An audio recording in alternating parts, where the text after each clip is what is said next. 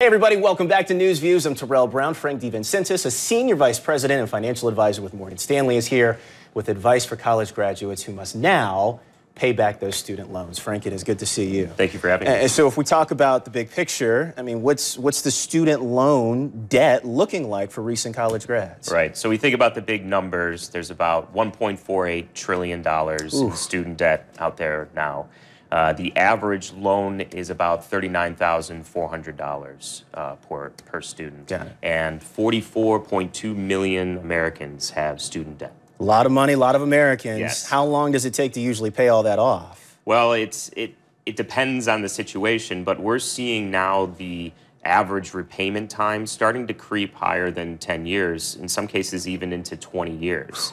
Um, and I think that happens in part because people consolidate their loans and it restarts the amortization schedule. A lot of these grads come out of school and then they've got life to deal with. They've Right. got bills and then they think, oh, you know, well, let me just put this off for maybe four or five years. Right. You say not a good idea. Why? Right. Yeah. I mean, the part of this is just the power, how, powerful math is. Yeah. So if you take, say, forty thousand dollars in student debt and a twenty-five year repayment period with at seven percent, over the life of that loan, you're going to be paying for twenty-five years, and it's going to cost you somewhere around forty-four thousand dollars in interest.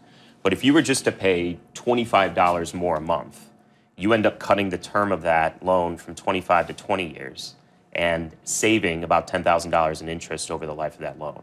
So we, we think that you know, we're building up our, our, uh, ourselves financially. We're, we're, we're getting an apartment, we're you know, getting into the groove of things, making sure that something's carved aside and perhaps even a little bit extra more goes a long way. And that's just a little bit of extra Little bit, money right. a month. So you're saying, look, the minimum just isn't going to cut it. Right. I mean, if you can, and I would make a point of looking at a budget and and really trying your best to just chip in a little bit more a month. For someone that's just now graduating, let's say class of 2018, what's your advice on spending and spending habits? Right. So you have to you have to really really look and focus on it and have a tough conversation with yourself as to is this something that I need or is this just something that I want? Um, and it really does matter. The, the two things that happen. One is people.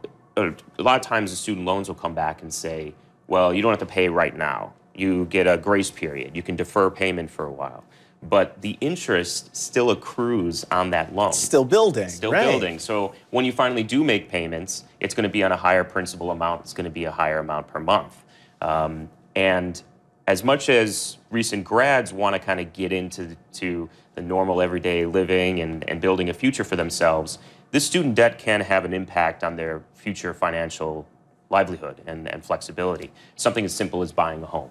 Right. Um, you know, the, the lender is going to be looking at what's the total amount of debt outstanding. They're going to be looking at how much money per month are you going to service this debt. Every once in a while, you get a little extra money, and, and this is for the college grads here. Right. What should they do with that with that extra money per se if that comes in? It's of course tempting to want to buy something for yourself. Yeah. You're working hard. You're you're you know finally in the working world. Uh, but in many cases, again, it's it's going to be smarter to pay down the loan, and especially as we've seen interest rates starting to rise. I mean, if we're having the student debt at seven percent and climbing as interest rates continue to to jump higher, that's a lot of money. That's mm-hmm. that's a lot of debt service that's coming out. So focusing any kind of windfall, a tax refund, a bonus, at least a portion of it to just pay down principal on the student And you've got a lot of parents that want to jump in and help too. Think Right. about parents though; they've got bills; they're trying to save it for retirement too. So when should parents help, and when should they not? Right. So my my first line, I mentioned this to my clients as well. You know, it's honorable that you as a parent want to help your kid. I, I get it, but you can't do it at your own sacrifice. At the own, you're sacrificing your own financial independence Right. and long-term plans. So I urge the parents, uh, you know, to, to get a plan. You know, have a plan in place that makes sure that their retirement and financial needs are secure. Then you can start to look at helping a child. Um, and there's variety of tactics that I see parents use. One that's kind of interesting is helping with a like kind of a match.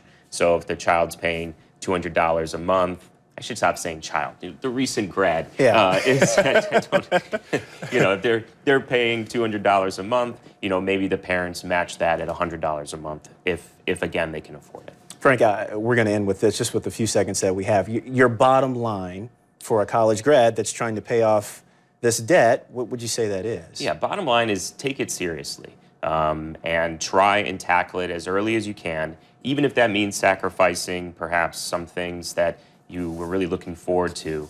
Um, because in the next 10, 15 years, when bigger financial decisions come up, you're going to want to have that flexibility. Frank, with Morgan Stanley. Appreciate Yeah, it. Thank, thank you you, so much for coming by. Appreciate it. Great advice. It's going to do it for News Views. Thank you so much for being with us. Hope you enjoy the rest of your weekend. Going to send it back now to the news desk. Hey, if you like that video, be sure to subscribe to our ABC7 Chicago YouTube channel.